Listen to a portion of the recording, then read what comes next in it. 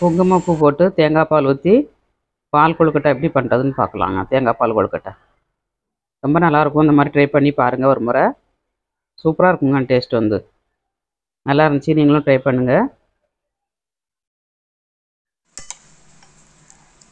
ஈவினிங்கில் ஸ்நாக்ஸுக்கு பண்ணியிருக்கேன் ஹை ஃப்ரெண்ட்ஸ் எல்லோரும் எப்படி இருக்கீங்க? நல்லா இருக்கீங்களா? அன்னைக்கு சூப்பராட்டு குங்குமப்பூ தேங்காய் பால் கொழுக்கட்டை பண்ண போகிறாங்க எப்படி பண்ணுறதுன்னு பார்க்கலாம். வீடியோ கடைசி வரை ஸ்கிப் பண்ணால் பாருங்கள் வீடியோ உங்களுக்கு பிடிச்சிருந்தனா லைக் பண்ணுங்கள் ஷேர் பண்ணுங்கள் சப்போர்ட் பண்ணுங்கள் எங்கள் சேனலுக்கு ரொம்ப நல்லா இருக்குங்க. போல் தேங்காய் பால் கொழுக்கட்டை. ஒரு முறை இந்த மாதிரி செஞ்சு பாருங்கள் செஞ்சு பார்த்துட்டு டேஸ்ட் எப்படி இருக்குன்னு கமெண்ட்ஸ் பண்ணுங்கள் ஸ்கூலுக்கு போயிட்டு வர குழந்தைகளுக்கு ஈவினிங்காக ஸ்நாக்ஸாகவும் பண்ணி கொடுக்கலாங்க. ரொம்ப அட்டகாசமாக இருக்கும். ரொம்ப டேஸ்டியாகவும் இருக்கும். ஸ்கூல் லீவ் விடுத டயத்தில் குழந்தைகளுக்கு வீட்டில் இருக்க குழந்தைகளுக்கும் பண்ணி கொடுக்கலாம். ஈவினிங்கில் ஸ்நாக்ஸாகவும் பண்ணி சாப்பிடலாம். ரொம்ப நல்லாயிருக்கும் ஒரு ஒரு டம்ளர் பச்சரிசி மாவு இருந்தால் போதுங்க. சூப்பராக பண்ணி எடுத்துடலாம். வாங்க எப்படி பண்ணுறதுன்னு பார்க்கலாம். கொழுக்கட்டை பண்ணதுக்கு ஒரு இரும்பு கடாய் வச்சுருக்கேன். இதில் ரெண்டு கப்பு மாவு எடுக்க போகிறேன் நாலு கப்பு தண்ணி ஆட் பண்ணணுங்க. ஒரு டம்ளர் மாவுக்கு ஒரு டம்ளர் ரெண்டு டம்ளர் தண்ணி ஆட் பண்ணணும். இப்போ மூணு டம்ளர் ஆட் பண்ணியாச்சு. இன்னொரு டம்ளர் ஆட் பண்ணோம்னா நாலு டம்ளர் ஆயிருங்க. இதுக்கு ரெண்டு டம்ளர் மாவு எடுத்துக்கணும் நம்ம சீனி ஒரு அரை டம்ளர் உப்பு கொஞ்சோண்டு போட்டுக்கோங்க. இப்போ தண்ணியில் போட்டு நல்லா மிக்ஸ் பண்ணிவிட்டு அப்புறமா நம்ம அடுப்பை ஆன் பண்ணணும். ரெண்டு டம்ளர் மாவு ஆட் பண்ணியாச்சு. சீனி உப்பு எல்லாம் கரைய விட்டு மாவும் கரைய விட்டு நம்ம அடுப்பை ஆன் பண்ணிக்கலாம் அப்படியே ஆன் பண்ணேன்னா கட்டி கட்டியாக கிடக்குங்க. இங்கே வெந்நியை கொதிக்க வச்சு ஊற்றியும் வேக வச்சு எடுக்கலாம். அதோட இது வந்து ரொம்ப சாஃப்டாக இருக்கும் கொழுக்கட்டை இந்த மாதிரி ஒரு முறை ட்ரை பண்ணி பாருங்கள் நல்லா கரைஞ்சிருச்சு. அடுப்பை ஆன் பண்ணியாச்சு. நல்லா திக்காக ஆரம்பிச்சிருச்சுங்க. இந்த அளவுக்கு திக்காக வரும். கைவிடாமல் கிண்டிக்கிட்டே இருக்கணும் நம்ம. நல்லா அடிக்கனமான பாத்திரத்தில் வச்சு கிண்டி எடுத்துக்கோங்க. நான்ஸ்டிக் கடாயில் கிண்டுங்க இல்லை இரும்பு கடாயில் கிண்டுங்க. நான் இரும்பு கடாயில் தான் கிண்டியிருக்கேன் அடியில் காணாமல் இல்லைன்னா பிடிச்சிருங்க மாவு வந்து. நல்லா கொதிச்சதுக்கப்புறம் அடுப்பை வந்து சிம்மில் வச்சுக்கணும் நம்ம. மாவு வந்து நல்லா ஓரளவுக்கு திக்காக ஆரம்பிச்சிருச்சு. கொழுக்கிட்ட வந்து நாக்கில் வச்சதும் தண்ணியாக கரைஞ்சிருங்க. அவ்வளோ சாஃப்டாக இருக்கும். தேங்காய் பூ துருவின தேங்காய் பூ போட்டுக்கலாம். தேங்காய் பூ போட்டு மிக்ஸ் பண்ணி அவிச்சு பாருங்கள் அப்படி ஒரு டேஸ்ட் இருக்குங்க. யாருமே இந்த மாதிரி சாப்பிட்ருக்க மாட்டேங்க வாழ்க்கையிலே. அந்த அளவுக்கு டேஸ்ட்டாக இருக்கும். தேங்காய் உப்பும் போட்டு மிக்ஸ் பண்ணிவிட்டு நம்ம அடுப்பை ஆஃப் பண்ணிக்கலாம் நல்லா திக்காயிருச்சு மாவு நல்லா வெந்துருச்சு. இது மிக்சி சாரில் போட்டு அரைச்சி நம்ம பால் எடுத்துக்கிடலாங்க. அரைச்சி பால் எடுத்தாச்சு நல்லா திக்காட்டு எடுத்துக்கோங்க ரொம்ப தனியாக எடுக்காதீங்க. பால் எடுத்து தனியாக வச்சுட்டு நம்ம மாவு வந்து ஆறிட்டுங்க. உருண்டை பிடிச்சிக்கலாம் கையில் ஒட்டுச்சுன்னா லைட்டாக எண்ணெய் தடவிட்டு உருண்டை பிடிங்க. நல்லா ஒட்டாமல் கிடைக்குங்க. இந்த மாதிரி உங்களுக்கு எந்த சைஸில் தேவையோ உருண்டை சைஸ்லையா இல்லை நீள சைஸ்லையா எப்படி வேணாலும் நம்ம பிடிச்சிக்கலாம்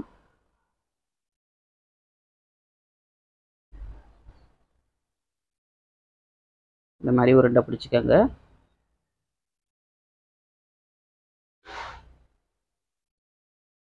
ரொம்ப ஈஸியாக அஞ்சே நிமிஷத்தில் பண்ணிடலாம் நம்ம. எல்லாம் மாவு எல்லாம் இருந்துச்சுன்னா இதே மாதிரி எல்லாத்தையும் பிடிச்சி எடுத்துக்கலாம். எல்லாத்தையும் உருண்டை பிடிச்சி எடுத்தாச்சு. ஒரு கடாயில் தண்ணி கொதிக்க வச்சுருக்காங்க. சீனி ஆட் பண்ணிடலாம். ஃபஸ்ட்டு நம்ம மாவுக்கு சீனி ஆட் பண்ணியிருக்கோம் இப்போ வந்து கொழுக்கட்டைக்கு சீனி ஆட் பண்ணிக்கலாம். ஏலக்காய் ஒரு அரை டீஸ்பூன் போட்டிருக்கேன். நல்லா மிக்ஸ் பண்ணிக்கோங்க. நல்லா கரைஞ்சதும் நல்ல தண்ணி கொதிச்சதுக்கப்புறம் தான் மாவை கொழுக்கட்டையை ஆட் பண்ணணுங்க. மாவு இல்லாட்டா கரைஞ்சிரும். தண்ணி கொதிச்சதுக்கப்புறம் தான் சீனி ஆட் பண்ணியிருக்கேன். ஏலக்காவும் ஆட் பண்ணியிருக்கேன். கொழுக்கட்டையும் ஆட் பண்ணியாச்சு. போட்ட உடனே கொதிக்க ஆரம்பிச்சிருச்சு பாருங்க. தண்ணி கொதிக்கலைன்னா அப்படியே கரைஞ்சிரும் கொழுக்கட்டை வந்து. ஒன்றோட ஒன்று ஒட்டாமல் நல்லா பப்ஸ் மாதிரி கிடக்கு பாருங்க. குலாப் ஜாமுன் மாதிரி. ட்ரை பண்ணுங்கங்க ட்ரை பண்ணிட்டு எப்படி வந்துச்சுங்கிறத கமெண்ட்ஸ் பண்ணுங்கள் ஒரு ரெண்டு ஸ்பூன் மாவு வந்து நம்ம கரைச்சி வச்சுருக்கணுங்க. கரைச்சி வச்சு நம்ம ஊற்றினோம்னா கொழுக்கட்டை வந்து நல்ல கூழ் கிடைக்கும் நமக்கு. கூழ் கொழு குழன்னு ஆயிரும். நாங்கள்லாம் சின்ன பிள்ளையா இருக்கும்போது நம்ம அம்மா கொழுக்கட்டை வச்சுச்சுன்னா நிறைய கூழ் காய்ச்சுவாங்க அதில் மாவு நிறைய காய்ச்சி ஊற்றி எல்லோரும் பிடிப்போம். அதனால் நிறைய ஊற்றுவாங்க இப்போ தேங்காய் பால் ஆட் பண்ணிடலாம். திக்கான தேங்காய் பால் ஆட் பண்ணிடணும். தேங்காய் பால் ஆட் பண்ணியாச்சு.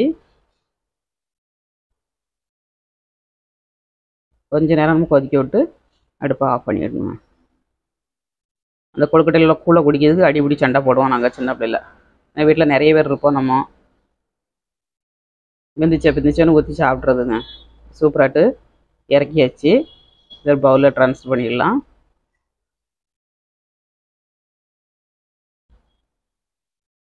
பார்க்கையிலே நாக்கில் எச்சி உருது பாருங்க அந்த அளவுக்கு எம்மியாக இருக்குது பார்க்கறதுக்கு மேலே வந்து நம்ம குங்குமத்தூ பூ தூவணும்னா சூப்பராக இருக்குங்க. டேஸ்ட்டும் நல்லாயிருக்கும் பார்க்கறதுக்கும் அழகாக இருக்குங்க.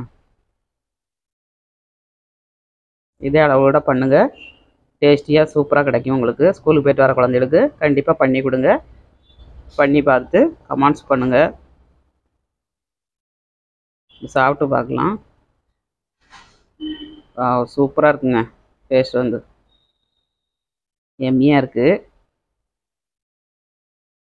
குங்குமப்பூ வந்து கரைஞ்சதுக்கப்புறம் எல்லோ கலரில் ஆயிரும். கொஞ்சம் கரைய ஆரம்பிச்சிருக்கு.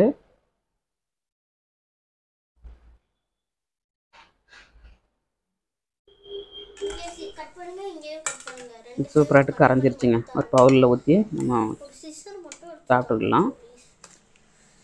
எவ்வளோ டார்க் எல்லாம் ஆயிட்டு பாருங்கள் குங்கும ருசியா கேள்வி. குங்குமப்பூலே நிறைய வெரைட்டி இருங்க ஒரிஜினல் பூனா நல்ல கலர் கொடுக்கும். சூப்பரான தேங்காய் பால் குங்குமப்பூ கொழுக்கட்டை ரெடி சூப்பராட்டு குங்குமப்பூ தேங்காய் பால் கொழுக்கட்டை ரெடிங்க மீண்டும் நெக்ஸ்ட் சந்திப்போம். பாய்